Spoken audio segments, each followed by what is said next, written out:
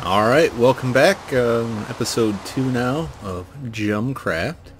I got my buddy Nick here with me. Hello. Nick is uh, doing a playthrough of Dark Souls. He was good enough to have me on a couple episodes, so I thought I'd return the favor by forcing him to sit and watch me play this game. These handcuffs are pretty uncomfortable, but I'm still looking forward to it. What did I say about the handcuffs? we don't talk about that. Sorry, it's a private thing. Okay, well, anyway, uh, where we left off last time was I was being murdered in my sleep by a zombie. And uh, I did put a little note on there to see if anyone could spot my fatal mistake. Um, I am, I, I haven't uh, actually seen an account, so I don't think anyone has yet. But uh, it's it's the door.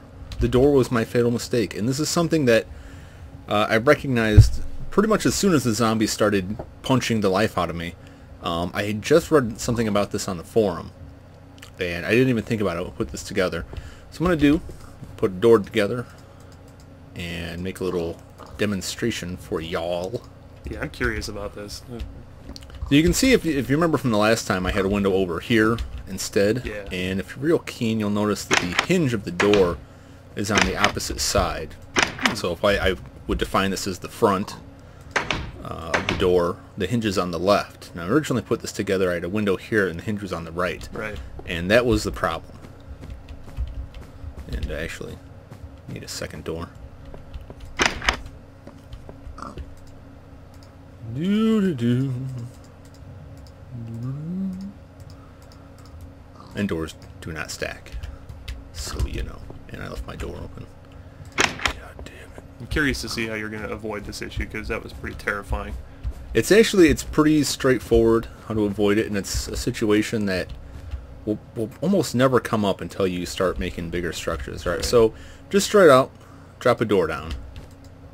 I guess I gotta break the snow first. Okay, so notice you put a door down, nothing around it, and you get what I call the regular normal door with the hinge on the left-hand side.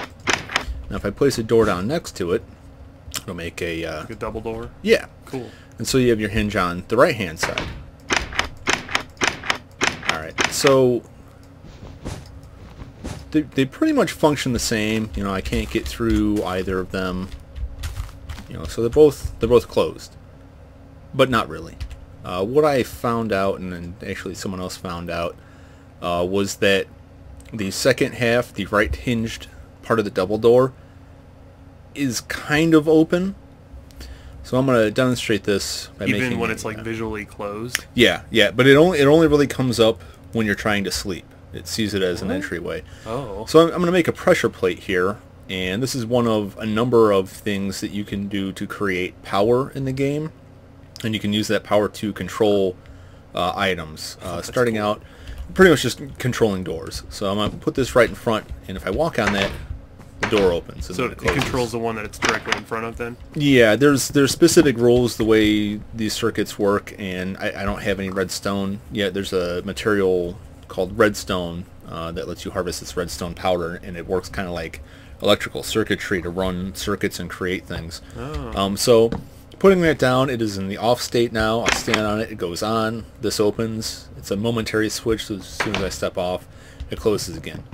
So that's on that one. Now, if I put it in front of this door, it opens right away. Oh. And this is still in the, the off state. If I turn it on, the door closes. Because it's apparently just kind of a mirrored copy of this. Right. Then when you go to sleep at night, the game looks at where you're at and determines if there is any way that uh, a zombie or a skeleton could get in, can could get at you, and if it finds a way, it'll drop one in there and attack you and wake you up in the night. Oh. And even though this door is shut, because of this, that part of the game considers this open and will let stuff just pop in and punch you to death. So it has something to do with how doors are implemented and the fact that a double door, like one side of it is actually a mirrored version in the code Right. of the other side. So, and that, so I'm guessing that also applies to states. Yeah. Yeah. So even though the door looked closed, it actually considered it open as far as letting a zombie in to kill me. Right. And what I had read was that, and I haven't tried this myself because I didn't want to just keep getting woken up by a zombie and killed, is if you go to sleep at night, open your door. Oh. And nothing will interrupt you. Because it'll be the inverse state. Yeah, because now it thinks it's closed apparently. Right. Um, very strange. That's that's pretty bizarre. So yeah, that uh, that kind of scared the crap out of me. That's pretty cool though. You found a solution for that. Yeah. I'll, Kind of uh, like lateral thinking in this game that I'm totally incapable of. No, the reason I should add the reason that it did show up on the right hand side was because of the wall that I had built. Right. And if you have, you know, like this on both sides, you get the regular door. Right. But if you leave uh, an opening, the hinge just kind of natu- naturally uh, applies itself to the other side. So if I take this side out here, put that door down, I get Oh. the second half. And actually, that there are some um, mechanisms, Rube, Rube Goldberg-esque mechanisms you can build in this game um, that rely on having the doors set on certain angles. So that's knowledge that will come in handy later. Yeah, that's kind of huge.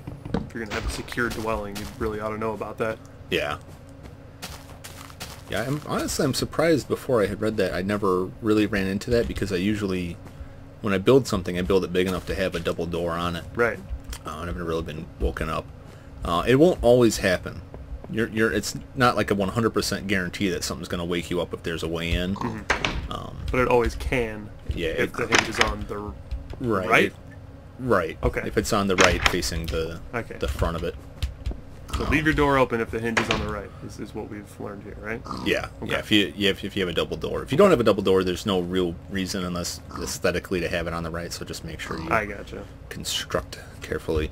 Also, add a little step here. This is a uh, Just stone or Like a a, cobblestone. hmm It's a slab, oh, okay. um, half slab sometimes. Sometimes I use names that don't line up with these tooltip names. And this is because in earlier versions of the game they didn't have actual official names. There was no tooltip. right. And so you just kind of cooked up name, people cooked up names on your own. And so they're kind of the established names for stuff. Yeah. Um, and So I, you're using some community naming schemes that don't particularly line up with what the developers. right. it- I, thought. I go back and forth on stuff. Most of it's pretty pretty much the same, but there's some things that, you know, the slabs I still call half slabs. Um, you can make those just by dropping three down across. You can make these out of cobblestone, uh, regular stone, sandstone, and wood. You do it with wool. Uh, no. Okay. No, you cannot. So, put these away, put that away. And it is starting to get dark out. The Time- night descends. Yeah, it moves. It moves pretty quick. Um, I want to say it's 10 minutes. You have 10 minutes of daytime, uh, and it's not really 10 minutes of nighttime. What they call it, like the full night, because you have this interlude of dawn and dusk. So it's like seven minutes of nighttime that's dark enough for stuff to spawn. Okay. Um, but yeah, time can move pretty quickly, and uh, you know you will find if you if you really enjoy playing this game, it's very easy to pass through many 20-minute days uh, in one session of this game uh, in one day IRL. Right. And if you're not sure what IRL stands for, then you probably have more going on in real life than I do. Well played, sir. And I, I'd also like to add, you know, I, I really am digging on this this dungeon uh, dungeon abode. I feel like a, a big man sleeping next to the spider block. Yeah, that's pretty badass, man. It's uh, as Nick can attest, this really isn't much far off, and it's actually a little bit nicer than the actual dungeon that I live in, and I'm I'm sitting in right now. The cave that we're currently dwelling in. Yes. IRL. Yes. Hmm. Um, you know, the only plus side that my actual place has over this is my adorable little dog. Right. Um, and there are dogs in the game. There's wolves that you can tame and find. I haven't found any yet, but uh, once I do, I will be able to have the equivalent of my dog in this game, which makes it easier for me to spend less time with my real dog Right. and feel less guilty about having him just sit and stare at me. And, Really like a simulation of real life. Mm-hmm. Yeah. yeah, Yeah. yeah, because I think that's healthy. you know, I I think this this is better a- than real life. It's a good idea psychologically, I think. I, want to live in the Matrix. Same. Um, Which No. pill is that, the red or the blue pill? uh, puce. The puce pill? That that is the trick to it. The little known puce pill? You, you have to have the Puce pill. Yeah. If they don't offer you that, then you're just not cool enough to be in the club. Oh, okay. See, I'm learning things. that's uh, that's what I'm all about here. Sweet. Uh, Education. Yes, education Informing and murdering people. pigs. Those are my, my two goals. Uh, now, astute viewers will notice that there's more vine here. Oh yeah, that's bigger than it was last video. Hmm, I didn't add more. It uh, it just grows. It'll grow on its own. And if you want, which I do want, you can uh, you know trim a little bit off here and uh, plant some more. So it's renewable in that sense. You can always Mm-hmm. harvest what has grown. I mean, it's, Yeah, you're infinitely gaining interest on that. That's pretty cool. and that's that's one thing I really really love in this game and get kind of obsessive about uh, is renewable resources. I uh, I like planting trees. I like having tree farms. I like resources that I can just continue to uh, reproduce over and over again. I, I don't know what it is. It just kind of fascinates me. Well, I mean, that's kind of what this game's all about, right? I mean, you kind of set your own goals and you have your own priorities, right? Mm-hmm. Yeah. So it's it's it is what you take from it. Right. So it's uh it's nighttime out. It's a little spooky.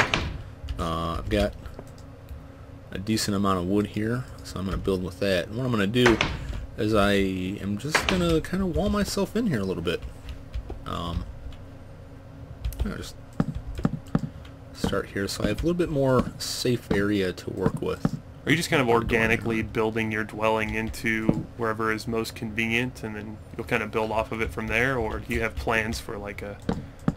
I, you know, I had put some thought into uh, actually constructing, uh, you know, a, a proper building, Mhm. proper domicile. Uh, but that's another thing I really dig on in this game is just kind of going off of what is already there Right. and building off of that. So I don't want to link this up. I personally think that's a lot more interesting. I mean, Yeah, you know, I, I like just working with what what already exists and just kind of digging into it. kind of more like you would out. if you were actually out here, Yeah. you know, trying to survive. I mean, just build into the land itself. I can span that out a little bit. Get this snow. I had a question about snow.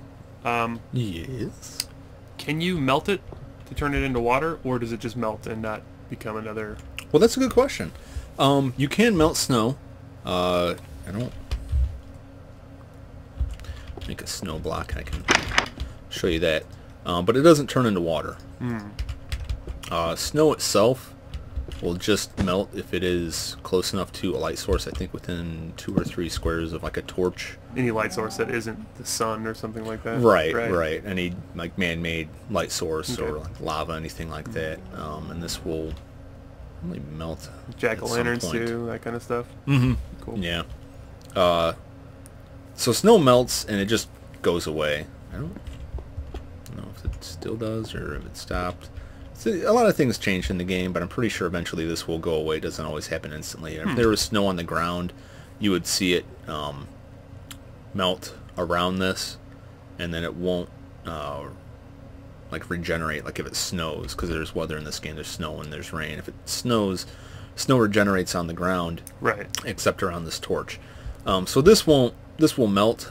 And I'm just gonna I'm gonna pick that up because even though I've got an endless amount of snow outside, get OCD about my resources here. Um, the snow just melts and goes away. Now ice will turn back into water. And Ice will? Ice will because ice is just a fro- frozen block of water. So if you melt that, it turns back into water. Um, so that can be. I, I'm planning on building a, a structure with uh, ice for the walls, Mm-hmm. and there's a way you can you can game that because you can't easily pick it up or move it. There, there's ways to do it, neither of which I have access to right now. Right. Um, so it's it's easy. You can just lay out water, and if it's exposed to the sun in the snowy area, it will freeze into ice, and you just kind of layer up on that. Oh, okay. Um, my only concern with that, the construction of that, is if I put torches around it to light up the area, if my walls are just going to melt out and flood my shit up. yeah, it's gonna take quite some time, I would imagine, to Yeah, create a building that way. yeah, I will more than likely just do that um, around video recordings so that people don't have to watch me staring at ice. Watching ice literally form. broke my, my pick. So I think, uh, time for iron, or yeah, I think I'm gonna upgrade, upgrade my shiz. My three iron and a couple sticks. That is so cool how you got all those resources. I mean, you know, I watched your your first video, and it seemed like you had a really solid variety of resources pretty quickly. Very snappy play. It, it's really it's a combination of, of luck and knowing what to look for. Right. It's mostly luck when you generate a new world. Um, Which is partly why this is so cool. You have to use Yeah. what you have. if if you know what you're looking for, it's a little easier to find. Uh, generally speaking, if you want coal and iron, you have to dig a little bit into the ground. But if you just walk around for a while and find uh, any area where there's stone, um, you're likely to find something iron or coal pretty close to the surface at some point. It, do- you, you don't always get lucky. I got lucky with this. Um, sometimes you have to dig down. But you knew what you were looking for. yeah, I mean, yeah. I I played a ton of this, so I can tell. Pretty efficient. Um, so I'm just kind of clearing out space here, make a little downward space here. I might make a farm in here, and grow some wheat. In fact, I, I will do that. Your performance is really solid on this game right now, like just, you know, CPU wise. I feel like I have a fairly beefy system, but man, it, it doesn't move at this clip. You know, it, it's surprising to me how resource intensive this game can be. Oh, Java. Yeah. Yeah.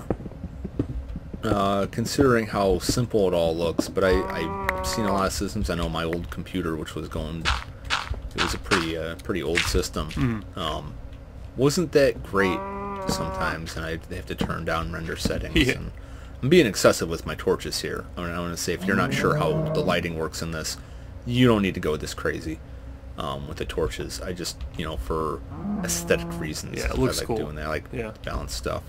Um, yeah, all the light sources, which are torches, uh, jack-o'-lanterns, which is where you can get a pumpkin, you can shove a torch inside, make a jack-o'-lantern, um, You lava. do that in your crafting interface. You just yeah, a torch you just, with a you pumpkin. know, pumpkin, torch, Okay. jack-o'-lantern. Um, I know so little about this game, despite having played it for you know a few hours back in earlier releases. So a lot of this is new for me. It's you really you know the game has no built-in instructions really. Um, there's there's guidelines out there on the internet, but there's nothing that's really. Oh, sounds like it's sunlight. Yeah. You really should have a sunlight down here. Some creepies out uh, out yonder, Yeah, you can hear terrifying sounds. should be able to hear zombies in pain burning in the sun. I think I'm only like two blocks beneath the surface. Or I am. And how I know is listening to the sound of the dirt. What? Yeah, You can tell from the sound of the dirt. So if you listen to that distinctive sound and breaking it, listen to this. Oh, It's a different oh. sound because that's actually a grass block. And grass you only get at the surface, so Shit, I never would have thought of that ever. that's That's really cool. play, play almost too much of this. It's a pro tip. So I'm gonna poke a window out here. I've kind of Hello. fucking cow. kind of screwed myself a little bit because I have no way to see outside. There could be a creeper like right around the corner there. Now, that's- that's if it was right do. next to you, like one block away on the other, like the edge of that window, the outside edge, would it be able to? Would that be enough proximity to trigger it to explode on you? I want to say yes, but not in all cases. Hmm. Um, for the most part, if you're, you know, if there's something intervening, they won't blow up. But I, I think if they, if it stood like, if that block was out of the way and it stood right there, is looking right at me, I think it would start its countdown. Oh, okay. And you could back away real quick, And it'll stop. and it'll stop. Um, it's got like a specific time length, so, uh, you know, I've, I don't even know what the time length is for sure because usually I'm just running, screaming in terror Panicking or blindly. getting yeah. blown up. Yeah. Let's just you know throw a time at like five seconds. Say it's like a five second countdown. right. So if it starts counting down, you run away. Um, it'll start counting backwards. So oh. Right, so you have to if you let it go too long, even if you get away, it's still going to blow up. Which is actually kind of useful if you don't have any good means to fight them and you don't care if it blows a hole in something. Yeah. Just get close enough to let its countdown run and then run real quick. It takes a little practice um, to not get blown up. But uh, well, I got those doors. See, I always assumed the um like the internal timer on the creepers was kind of a binary thing. I didn't realize it was like a bipolar sort of like analog counter going back and forth depending on your proximity. I guess you're saying like Yeah, the, the proximity thing is binary, but everything else is like a smoothly running timer back and forth. Yeah, they'll they'll cool down if you get away from them. Nice. So I'm gonna pop, pop up here That's good to know. since it was dark enough. Uh, they might still be around. Creepers do eventually despawn and just kind of disappear. uh, after enough time has passed, but it's not it's not an automatic thing. They don't die. Um, so if I'd gone outside right when all the zombies are dying or after they died, chances are good there'd still be creepers around Right. waiting. I've seen that many times in my older games.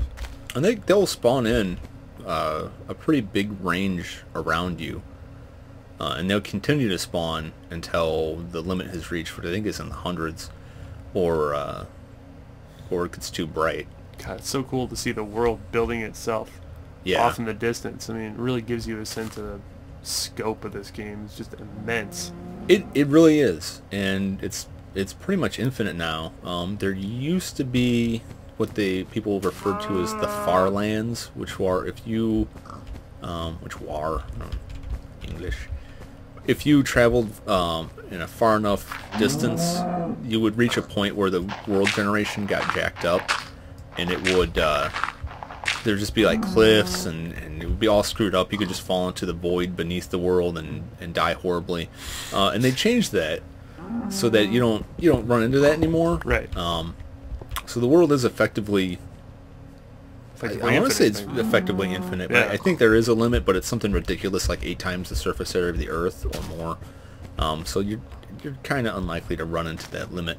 Man, we just take a step versions. back and think about that simple fact, though, that you can just every time you start a new world, whether it's through a seed or just whatever, you're effectively creating this huge set of ecosystems that Oh yeah, is like is effectively a whole world.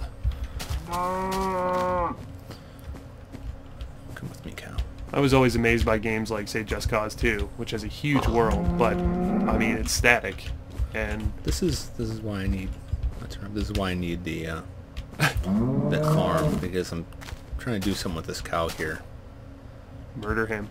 Um, you know, I don't see a lot of cows around. I kind of want to maintain a breeding pair, so I was gonna Get your breed on. I was gonna bury him in the earth, and I think I'm still planning on doing that. Are you going to be a disreputable cow breeder?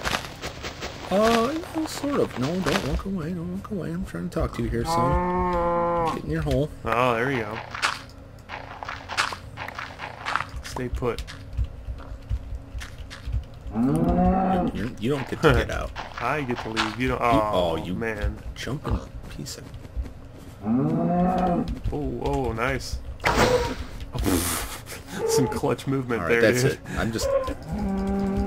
Don't you run from me. Well, you know what? That's what he gets. I got an achievement for it too. Fuck that guy. Delightful. So what I got from him was some raw beef and leather, and uh, I can cook that into steak and eat that, and it is delicious, delicious. And I can use this leather to make armor, uh, but it will take a lot, so I can't do anything with the individual piece that I got. And now I've got my my hole here, no animals to put in it, so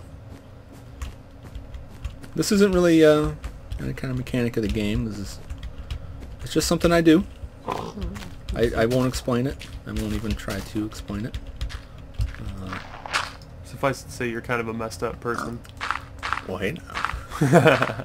I oh, just, uh, that's a mess. That's something a messed up person no, no, do. come on now. That's that's Look, fucked up. I'm, I'm, and hostile mobs don't normally attack animals unless Right. they're caught in the crossfire. Right. But I'm still uncomfortable with the idea of all these innocent animals Mm. wandering around when there's skeletons and shit wanted. They're terrified. Right. So I buried them Mm. in the earth so that um, they're safe. Yeah, that and like terrified pork tastes better. I, you know, maybe, maybe so. Um, and also I get that sweet oinking sound, so I have like a carpet of oinks. Carpet of oinks. Um, if I had some wheat, I could get them to follow me, and this would make this task a lot easier. So, I guess that's all. So you can lure animals around with food. Uh, yes, if you have wheat, you can get them to follow you. Oh man, that is so and, cool. And it's with the latest updates, animals are persistent. They used to spawn, you know, once a day and once at, at night in certain like areas with grass that uh, were lit up enough. Now they're just persistent. So when an area generates, it plops animals in, and then that's all that gets. So if I just went around and killed all these pigs around here, Yeah. um, I would have no pigs, and I'd have to go further and further out to get more pigs. So they, they changed that, and they also added breeding, so you can breed the animals. And so you can get some wheat and get them to follow you into an enclosed area, and then you can breed them in there, uh, which I will do once I have wheat. So they basically created a scarcity of a resource and then Mhm. gave you a cool way to make it renewable. So that's probably right up your alley. Then. yeah, and they, they this all came about when they added uh, the hunger system. This food just used to heal you, and now you have a separate uh, mechanic to deal with there. So now food is a lot more of a resource. Yeah, what? I mean, this this might be kind of outside of the scope of just describing in one video, but what's up with the food now? I mean, like, it just used to heal you, and that's kind of when I stopped playing.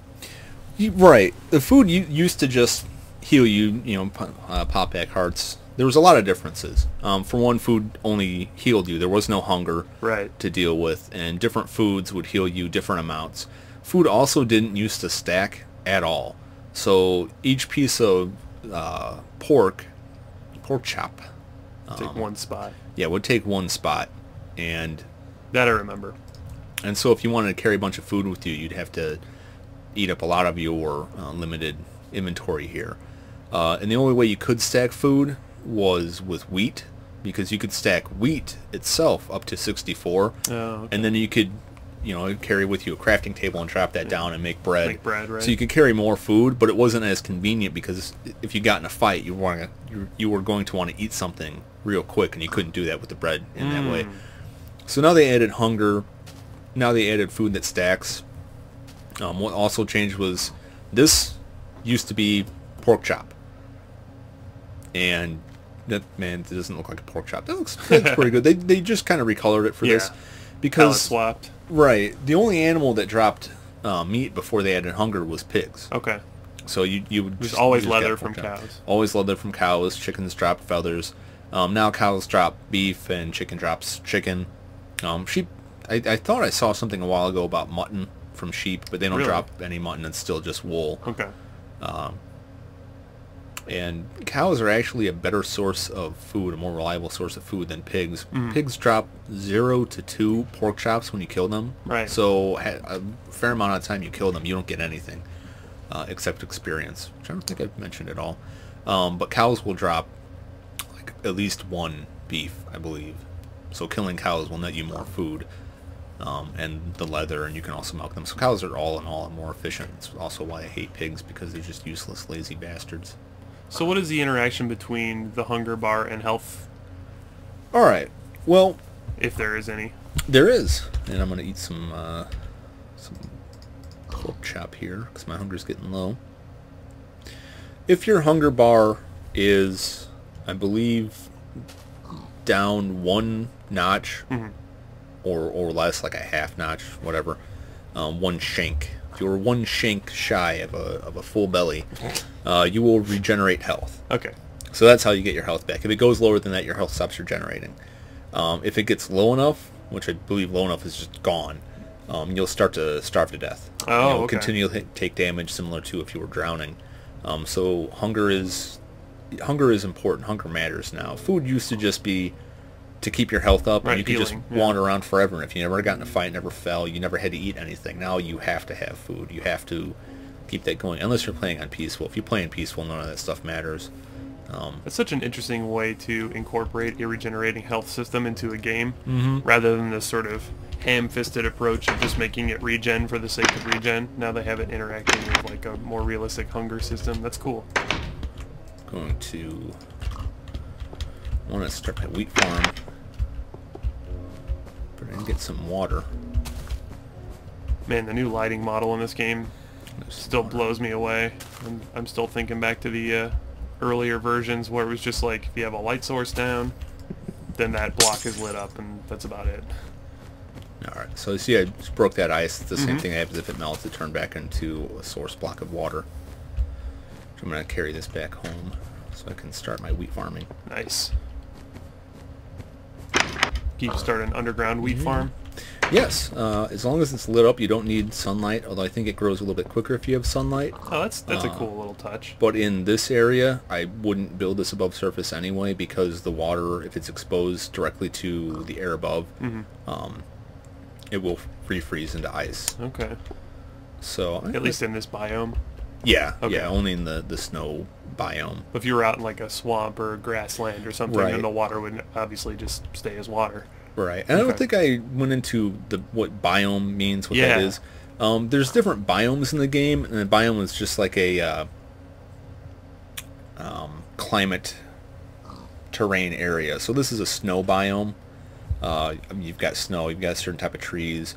Um, where I got those vines from that tree is a swamp biome. So you've got you know the vines growing on trees. You only get that in the swamp biome, and it's there's a lot of water going through it in small chunks of land. And it's actually a good place to find uh, like uh, clay Mm-hmm. just beneath the surface of the water. Um, and there's a couple different biomes.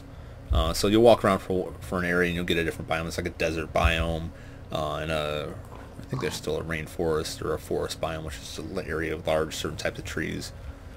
So this is I am in a snow biome. So there's certain different rules that apply, um, and it, it just depends on interaction with specific things. So it kind of incentivizes in a way like finding a specific biome depending Mm-hmm. on if you have some priorities starting out in the game. Yeah, Like I want more of this resource generally.